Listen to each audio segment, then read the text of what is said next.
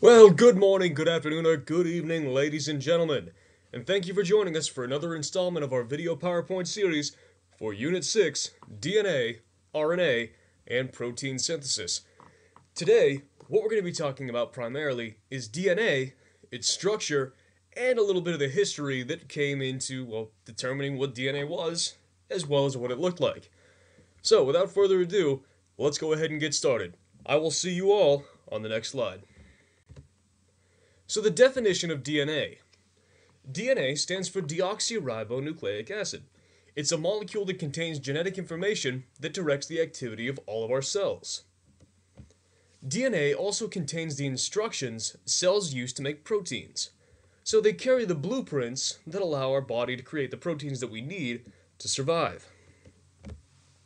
So these proteins allow us to help make new bones, muscle, new cells, and a wide variety of other things inside of our body. So, all in all, it's kind of important. So, the history of DNA. The first person we need to discuss is a woman by the name of Rosalind Franklin.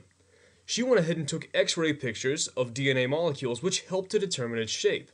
So, what she did was she actually took an X ray of the cell and found this kind of X like shape which led to the discovery that uh, DNA has a double helix or kind of like a spiraling ladder type shape. So if you look down here on the right, this is what she saw. So as you can see, it's kind of got this spiral-like pattern. So we see that it comes down like this, other side come down like this, and this is expected to continue. So it gives us this real nice spiraling helix pattern. The next two we need to discuss are gentlemen by the name of James Watson and Francis Crick, who went ahead and built the first DNA model, and they're usually given credit for determining its shape. So, they determined that it's a series of bases all gone ahead and put together with a few bits of phosphate and uh, sugar. So, what happens is they actually used a photo that Rosalind Franklin took to create this model. So, even though they're given credit for determining its shape, it's all kind of on the backbone or the uh, shoulders of Rosalind Franklin. The structure DNA is made up of monomers called nucleotides. So, if you think back, we actually talked about nucleotides during the biochem unit. But a nucleotide is composed of three different parts. We have a sugar, in this case deoxyribose, a phosphate, and a nitrogen base. So, when you actually see a nucleotide, it's going to look something like this. So, as you can see, we have our phosphate, we have our sugar, and we have our nitrogen base. So, DNA is actually just a, a just a kind of chain of these going ahead and linking together. So the structure of DNA, continued here, there are four different DNA nitrogen bases. We have the purines, which contain adenine and guanine. These are the double ring structures, so as you can see here on the right, they're composed of two different carbon rings. Now what we also have are the pyrimidines, the pyrimidines include cytosine and thymine. And what these are, are primarily single ring structures.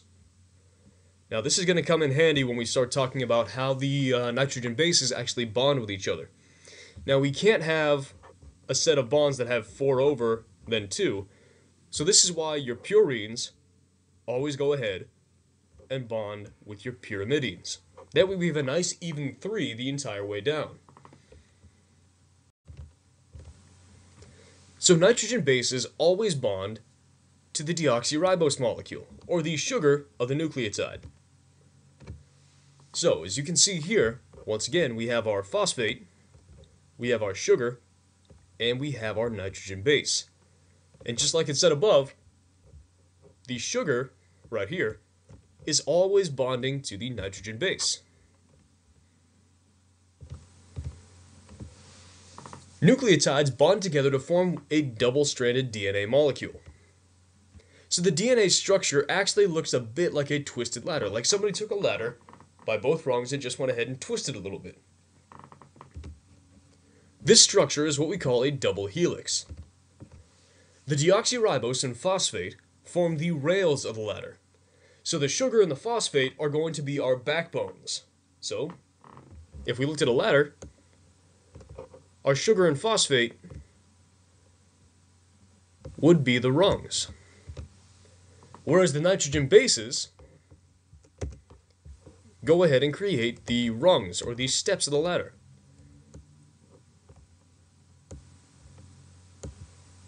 So, like we said before, what we have are the deoxyribose and the phosphates, which are the rails, and then we have our nitrogen bases, which go ahead and form the rungs. Very similar to this structure we have drawn right up here.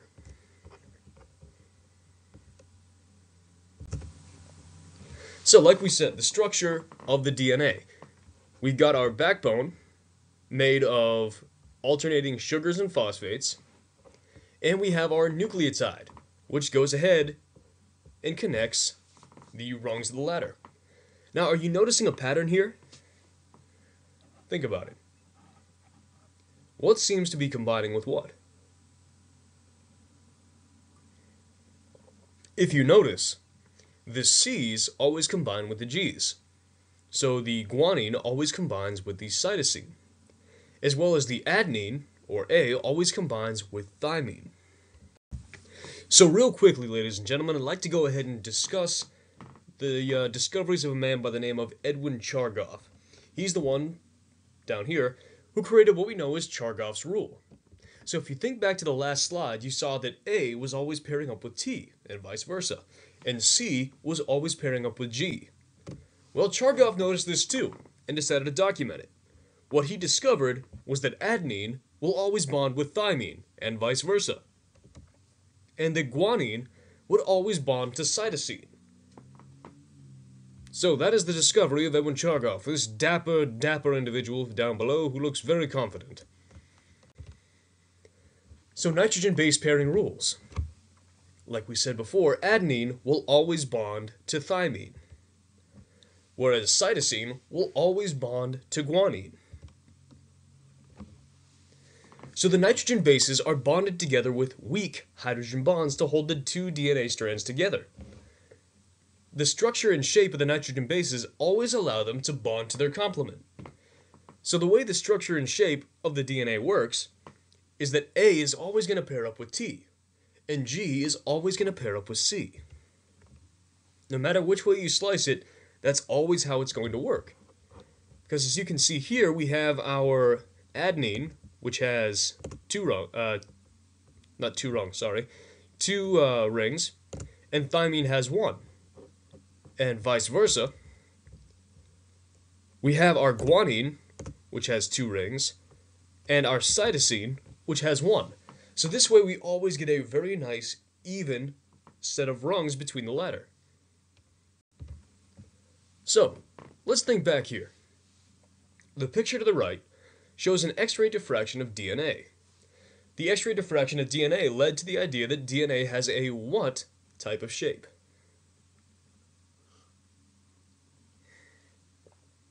That would be a double helix.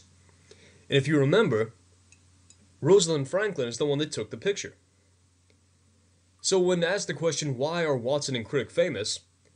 Basically what they did, if you remember correctly, is they went ahead and used Rosalind Franklin's picture to create the first correct model of DNA. So, what we have here, let's play a little guessing game, shall we? So we know that C always goes to G. So if we have a G on the left, that means we have a what? A C, right. If we have an A, that means the A is going to bond with the T. And if we have a T, T is going to bond to A.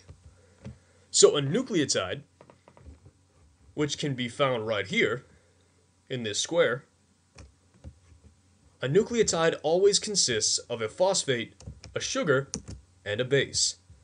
So we have our phosphate, we have our sugar, And we have our nitrogen base.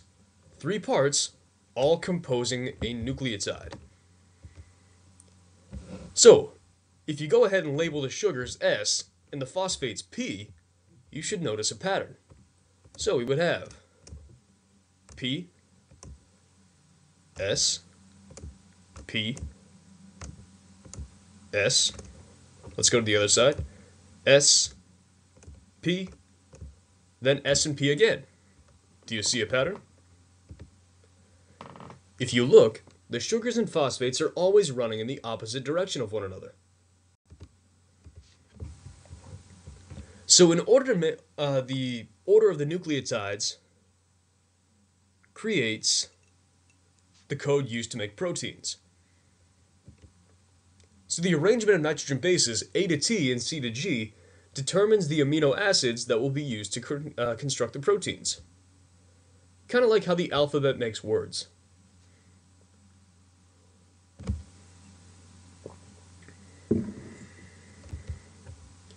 So the big question here is how does this all fit?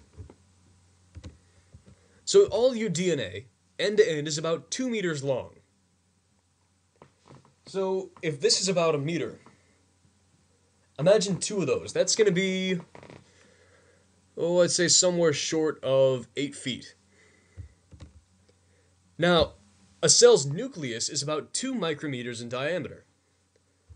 So what that means is, how can we fit two meters of DNA into a space that's only two micrometers? So just to give you a heads up, two micrometers would be point zero zero zero zero zero two meters. Pretty tiny. So how can we fit all that DNA into such a tiny space? Well, hang tight, because I'm going to tell you. What we do is we supercoil it. So first step is the DNA wraps around something called a histone protein, which can be found right here. So the DNA goes ahead and wraps around a histone. When we go ahead and wrap the DNA around a histone, so when we have DNA and a histone, we call that a nucleosome. So here, we have our nucleosomes. The nucleosomes then go ahead and form a coil. So first we coil the DNA around the protein, then we coil the nucleosomes again. So we have two coils so far. After that, the coil then coils upon itself once more, like illustrated up here. So basically, we have a coil made of coils made of more coils. So we have three coils deep. It's like coilception. So supercoiling is actually what gives a chromosome its kind of blurry looking shape. So if you went ahead and actually zoomed in on a piece of a chromosome, you would see that it's made of all this supercoiled DNA. So, much like a phone cord, now I know back in the day, yes, believe it or not, phones had cords. Some still do the way they got to go ahead and get the phone cord, the big problem was okay, let's say your phone was in one room, but you had to be in another. The trick was they coiled the cord. So if you coil the cord, you can fit a lot more cord, uh, a lot more cord into a very small amount of space. Very similar to supercoiling. So again, if we think back, what is a chromosome? I'll give you a sec.